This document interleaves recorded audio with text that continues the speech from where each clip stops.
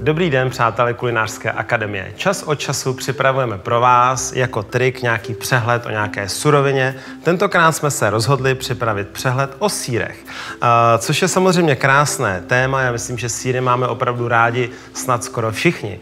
Jak se síry rozdělují? No, je mnoho takových vlastně eh, způsobů, jak se síry můžou rozdělit. A já bych zmínil ty základní. Samozřejmě síry můžeme rozdělovat například podle tvrdosti. Takový asi nejznámější tvrdý sír je italský parmezán. Ten se používá samozřejmě eh, nejenom na přímou konzumaci, ale také na těstoviny a do risota. Je to skvělý sír, představte si, že na ten jeden bochník toho parmezánu, který má něco okolo 35 kg, se používá až 1000 litrů mléka.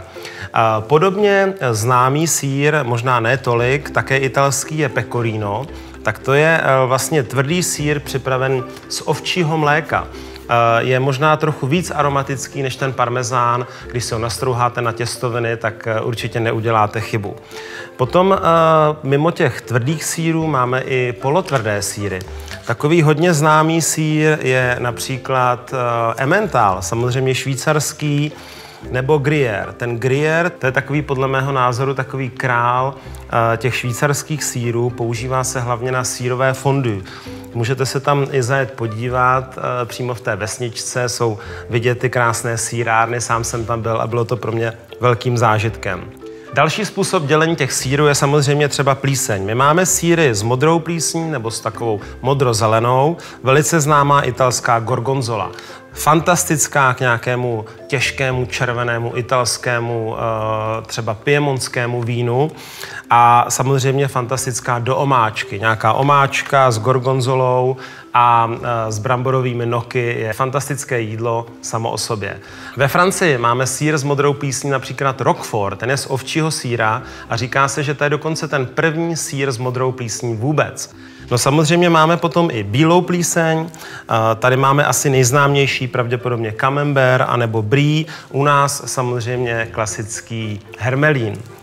Ty další plísně můžou být například eh, s červenou plísní, tam známe sír eh, třeba Romadur, eh, který vlastně je takový ten navinulý, vyznačuje se takovým tím silným zápachem.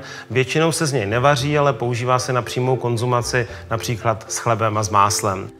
Další rozdělení síru je eh, podle mléka, kde máme nejenom ovčí, ale také kozí síry samozřejmě.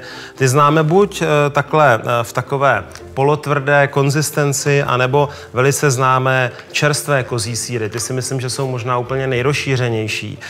Samozřejmě máme také kravské mléko a v neposlední řadě Všichni, kdo máme rádi mozzarellu, tak pravá mozzarella z kampánie se připravuje z mléka bůvolího.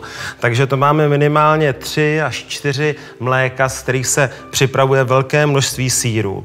No, máme potom samozřejmě i různé speciality, takové ochucené síry, které řekl bych, že jsou v takové samostatné kapitole a jsou to většinou síry, které se používají k přímé konzumaci, takže si uděláme nějaký sírový talíř, ke kterému dáme například nějaký tmavý chleba nebo chleba se sušeným ovocem ovocem. Často se přidává třeba jablko, ořechy nebo nějaká zavařenina, třeba fíková, samozřejmě také e, hroznové víno. To je všechno, co s tím sírem jde velice dobře dohromady.